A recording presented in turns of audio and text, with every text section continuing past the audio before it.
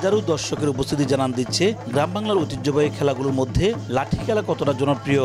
বর্ষার পরন্ত বিকেলে ব্রাহ্মণবাড়িয়ার সরাইল উপজেলার তেরোকান্দা গ্রামের নুর ইসলামের বাড়ির মাঠে দর্শকদের এই উপচে পড়া ভিড় যেন প্রাণ ফিরেছে গ্রামীণ জনপদে। লাঠিয়ালদের নান্দনিক কসরত আর অসাধারণ ক্রীড়া নৈপুণ্য দেখে মুগ্ধ দর্শকেরা গ্রাম বাংলার ঐতিহ্যবাহী এই খেলা নিয়মিত আয়োজনের দাবি তাদের। খেলা অনেক সুন্দর হইতেছে ভালো হইতেছে। ভালোই লাগতেছে।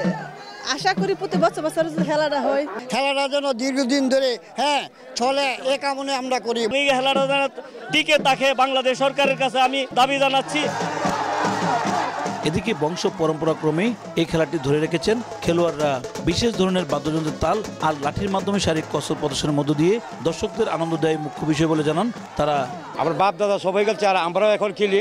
আমরা ছেলেরাও ট্রেনিং দিতেছি যাতে এই ঐতিহ্যবাহিনী এই খেলাটা যাতে আমরা ধরে রাখতে পারি। সরকারে যদি কিছু সহযোগিতা করে আমরা এই খেলাটা জীবিত রাখার চেষ্টা করব।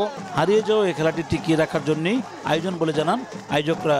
তিরিশ পঁয়ত্রিশ বছর আগের যে ঐতিহ্যবাহী যে লাঠি খেলা ছিল বা আরও অন্য অন্য যে খেলা ছিল গ্রামীণ খেলাগুলি আমরা যদি আবারও এই খেলাগুলো যদি নিয়ে আসতে পারি আমার মনে হয় এই যে নেশা থেকে অনেক যুবক অন্তপক্ষে মুক্ত থাকতে পারবে। খেলায় মোট দশটি ইভেন্টে তিরিশ জন খেলোয়াড় অংশগ্রহণ করেন।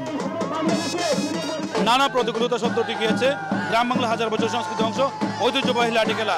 এই খেলাটিকে টিকিয়ে রাখার জন্য প্রয়োজন সরকারি বেসরকারি পৃষ্ঠপোষকতা। এমনটি মনে করছেন এখানে উপস্থিত দর্শক সহ খেলোয়াড়রা। উজ্জ্বল চক্রবর্তী সময় সংবাদ ব্রাহ্মণবাড়িয়া।